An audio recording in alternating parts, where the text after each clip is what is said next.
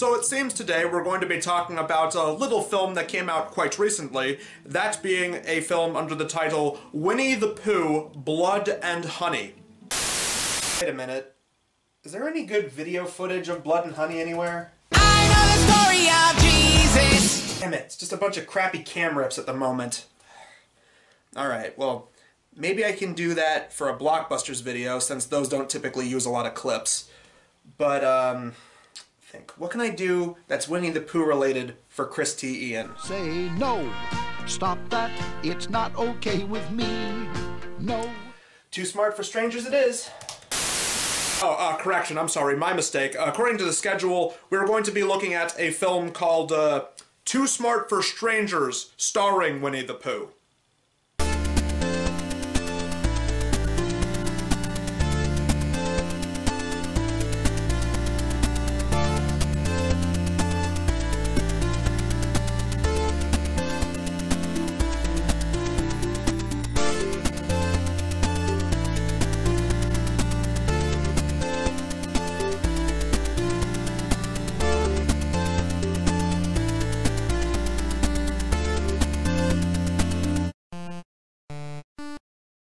So we begin on a soundstage or a set of some kind, it's clearly not filmed in a real forest, as we see a man in a costume of Winnie the Feces singing the title song for this movie. Too smart for strangers. That's me, Winnie the Pooh. As he meets up with his good friend Piglet to talk about a very serious subject stranger danger. A stranger is something a piglet is not. Oh, well, you see right there, he gets it. You know, nowadays there's lots of people running around saying that they don't like pigs and that they want them to fry like bacon and all that kind of thing. But no, you see, th- this bear right here, he gets it. A stranger may be someone you've seen in your neighborhood or places you go, but you don't really know that person. There are good strangers and bad strangers. And some strangers, the bad ones, want to hurt kids. And bears. Well, you are a bear, and in the Constitution it says something about right to bear arms, so if someone comes messing with you in your woods, you could defend yourself and unsheath your claws and maul them if you want to. As they continue walking, they keep talking about stranger danger until they get to their treehouse and continue the conversation over a pot of honey even though there were a bunch of honeypots scattered all over the woods earlier. Better hope that Jordan Peterson isn't watching this poo. He'll tell you that you better clean up your room, as well as your forest, and then warn you about the dangers of Marxism. What was I talking about again? Oh yeah, uh, stranger danger. Let, let's see what they're talking about with that. Number one, say no to strangers. He is right about that. I mean, after all, haven't you seen that one viral video from that local neighborhood icon known as Sam? No means no. Once again, me and this bear on the same page. Now let's see what the tiger, who bounces around a lot and shakes people down in liquor store parking lots like a methamphetamine addict, has to say. Well, it seems they're talking about the exact same subject, as Tyga and a baby kangaroo indulge in the discussion of the subject of strangers. Well, then it sure is a good thing that everyone in these woods just happens to know who everyone is and that no one is a stranger. Because, hypothetically, this is an adult talking to a child while a parent is not present. And so technically that would make this stranger danger. Or at least that's how someone without proper context like me would see it. You should avoid unsafe places. What are they? Places where there are no other people around. Look! There are alleys, construction sites. So in other words, stay as far away from cities as much as possible. Once again, I really like the advice they're giving in this film. Karen knows she stayed too late and she doesn't want to get in trouble. So she decides to take a shortcut. Now again, going back to hypotheticals, this is a grown man in a furry tiger outfit watching a little girl try to walk home in a bad part of town. You do see how this could possibly be misconstrued in some way, right? And so, the right thing to do in this scenario is run away and tell your father about it. But that's just one example. Let's see what these two little girls do in the next scenario as a strange man approaches them on the sidewalk. Well, well, aren't you pretty little girls? What are your names? Okie dokie. Now, what would you do? I wouldn't tell him my name. That's the Tiggerific answer, Roo. But they didn't seem very friendly, Tigger. Wouldn't it be all right to say hello and maybe shake hands? No, no, no, Peru. Uh-uh. Oh, whoa, okay, whoa. Everybody calm down, okay? I, I know this is a hot button issue, but we don't have to get all excited and lose our heads, Tigger. Oh, oh, wait, I, I'm, I'm so sorry. I, I didn't mean to mispronounce that. It's Tyga, sorry. You have to forgive me. I'm not too familiar with the Winnie the Pooh lore, so I, I believe that that's his name, correct? Scream and kick and bite. Fight with all your might and try to get away. So with that life lesson learned, the little kangaroo child heads home to her mother, a kangaroo woman who wears nothing but an apron. And nothing underneath. You know, and maybe this one's just me, but I'm starting to think that this film is just a little bit weird. My, my, I certainly learned a lot from Tigger and Roo. So far in this film, we have seen bears, pigs, donkeys, tigers, and kangaroos, which, for your information, don't actually live in North American woods like some of these other animals do. They actually live in outbacks and jungles, thank you very much. Because clearly, questioning things like that in a program aimed at very little children is a very big brain moment, I assure you. Now let's hear a little bit from this rabbit who's wearing a top hat and a cape. Watch our friend Timmy and see if you can find the trick. Hey, kid, come here a second. I seem to have lost my dog somewhere around here, and I was wondering if you might help me try to find him. No, sorry, I can't do that. Ah, a typical scenario that we've seen in some of these Stranger Danger PSA films from the 80s and 90s. We've heard it mentioned in the lyrics of a song in Yello Dyno. It was the first time Corny the Alien got kidnapped before being put into the back of a pickup truck he could have easily gotten out of. And now we see an example of it in this film where a very young copper cab rolls away on a bicycle after telling the strange man to go away. We then see a few more kids being tempted to go into strangers' cars. One guy looking like he's straight out of the 1980s, and another group of kids almost falling for the I'm a friend of your parents trick. At least those kids are smart. They didn't fall for the trick like Corny the Alien did in his PSA video.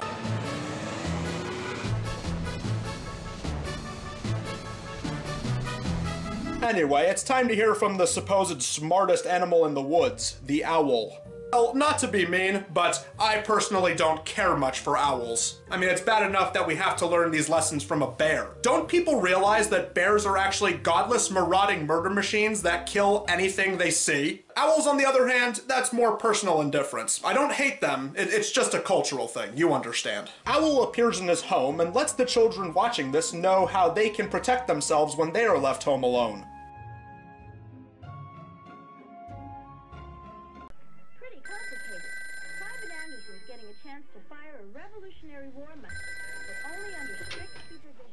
Hello? Never handle a Hi. weapon by yourself. What's your name? Ryan, Is your mom there, Ryan? she's not home. What would you have done? Um, maybe don't leave your five year old child home alone. I mean, I'm not one for common sense, but would it really hurt to hire a babysitter or maybe get uh, a neighbor you trust to watch the child while you step out instead of just leaving your child home alone like that? You see, after Ryan hung up, he had a funny feeling. So he called his next door neighbor, Mrs. Jones, and she said she'd come right over. Bye. You see, if the neighbor was quick enough to answer the child's phone call, then why couldn't they just be watching them from the beginning? Geez, COPPA just couldn't come soon enough. I am not one for government intervention, but I seriously think that we need programs that need to teach people how to be better parents to take care of their children. I'd never tell anybody my name. I wouldn't tell my mom wasn't home. You should never, ever say you're home alone. Then why are you talking to these cameramen? I'm starting to miss the brutal honesty of Yello Dyno. Back with Owl, he breaks into a musical number telling kids what they can do to protect themselves. When you're home alone with no one else around, experience has shown you'll be safe and sound if you follow the advice that I have found. Rabbit shows up through the magical powers of editing and continues to lecture the kids about tricks that adults might use on them. And alas, one of the tricks that they don't mention is that they're using woke propaganda television to brainwash children. I know this because I haven't actually seen any of these shows, but I have instead seen screenshots of them on Twitter and Truth Social. Now you see, one day when I actually have children, I'm going to give them nothing but a steady diet of PragerU kids. Wake up, sheeple parenting. After another example where a girl is approached by an adult looking for her mother while she's playing with this weird puppet toy, Owl gets a visit from the lispy tiger we saw earlier. Who's there? Who do you think it is? It's the one and only Tigger. Ho ho! Well, that's no stranger. So by that logic, no one is actually a stranger as long as they dress as a piglet or a tigger. Okay, so you're telling me that kids should trust this and this. Boom. Pwned by facts and logic, owl. Smartest animal in the Hundred Acre Woods, my foot. Seriously, why are more than half the people in this town leaving their elementary kids home alone? Maybe the lesson isn't just in stranger danger, maybe it's also about deadbeat parenting.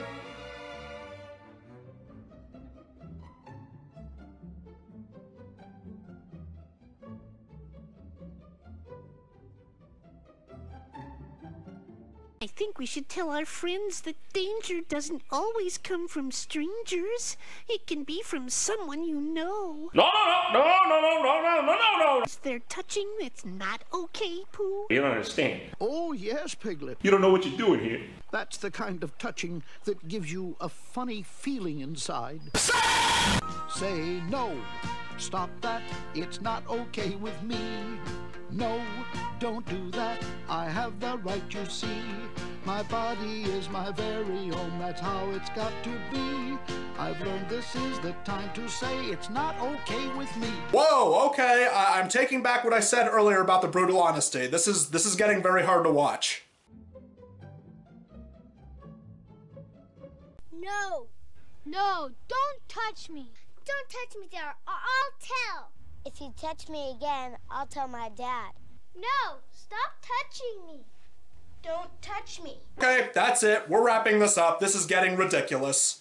Always tell your parents or someone you trust when someone tries to touch your private parts. So that was too smart for strangers, and if anything, we should be glad that we've completed the unholy trinity of bad PSA movies about stranger danger on this show. Much like Corny and Yello Dyno, the intentions are good, but sadly, some of the information, and definitely the production value, is incredibly dated by today's standards. If anything, this has the opposite problem of Yello Dyno in that this one feels like it kind of tap dances around the more key issues. They want to talk about these subjects, but I don't know, maybe using these characters wasn't the best way of doing that. Whereas Yello Dyno was a little too upfront with what they were saying to the point of being uncomfortable, this doesn't go that deep enough into very difficult and heavy subject matter. Though like Yello Dyno, when it gets uncomfortable, it really gets uncomfortable. Now even though I've never watched this cartoon as a child, mainly because I was raised to believe that Disney are a bunch of Satanists, and I now protest Disney because they are part of the woke agenda, or at least that's what Facebook tells me, all I can say is this.